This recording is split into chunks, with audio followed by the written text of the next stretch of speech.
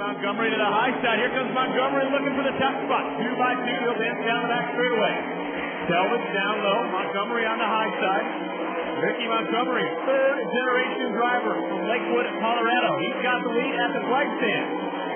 Selvage though powers back underneath. Through turns one and two. Gonna try the slide job. He's got the top spot back. Paul, Patrician, Carney, Boy, here comes Brett Mather, showing why he's second in the standings. Mather quickly from the tail, now up to the top four as he battles with Nate Van Haaften down the back stretch. Van Haaften, though, try to take that fourth spot back. He's going to do it out of turn number four. Van Haaften moves the number three car up to fourth. Mather runs fifth. Larry Finnegar.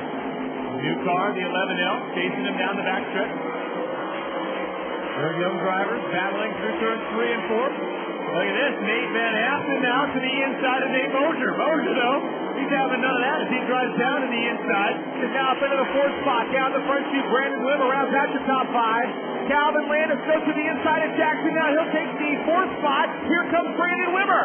Wimmer now to the inside of Jackson for the final transfer. He's got it in turn four. Jackson cuts across the racetrack trying to get the final transfer spot back down the front straightaway. Jackson will take in the third spot now, side by side in turn three. Calvin Landis on the inside. Tony Lucar up on the top. Still wheel to wheel down the front straightaway.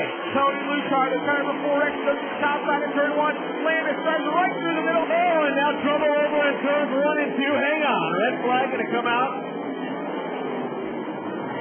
Justin Zimmerman up to fourth. Look at Mike Moore go right to the bottom. Oh, Ryan Anderson spinning in turn four. The race is going to be for the second spot. Here comes Brian Brown. He'll drive right by him on the bottom of turn four. Right up across the racetrack, Brian Brown now moves to the second spot. Here we go, feature number two.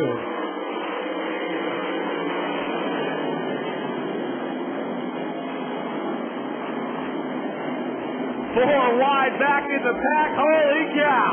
The next car to pass will be Tony Lucar. Justin Zimmerman takes the lead in turns one and two. He'll move by Tony Schilling.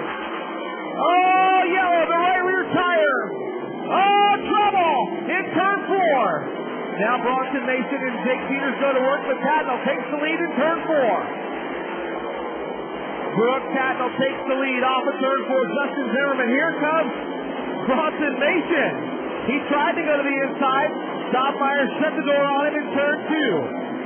Big run down the back straightaway. Mason drives by Zimmerman for third. Taking a look at Stoppmeyer for the second spot. Side by side. Oh, Jake Peters spinning in turn four. We stay green. Look out, Duke Jackson.